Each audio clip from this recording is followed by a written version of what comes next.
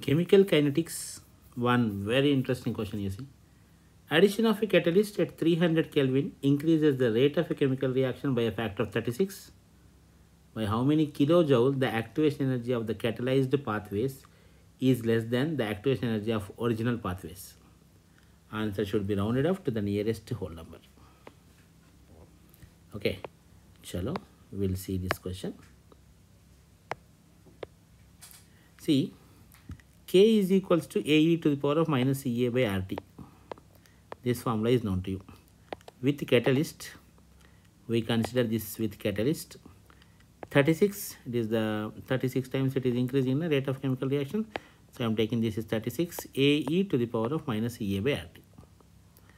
And without catalyst, I am taking here 1 because 36 times it is increased means it will be 1 AE to the power of minus EA by RT. Correct? Any doubt in this? No, na? Good job. 36 is equals to AE to the power of minus EA by RT with the catalyst. 1 is equal to AE to the power of minus EA by RT. This is without catalyst.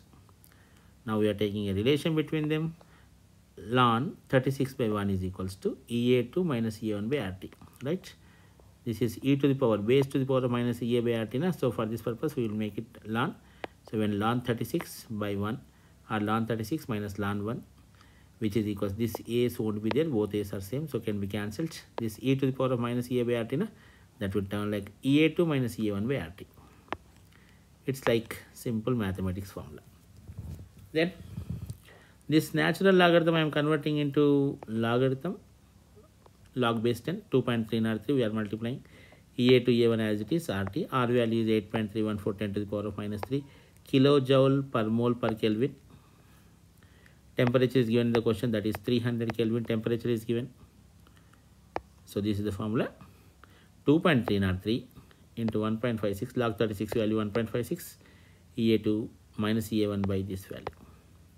When you go for simplification you will be getting there 9 kilojoules ea2 minus ea1 that means the difference between the two activation energies is 9 kilojoules. A wonderful question thank you so much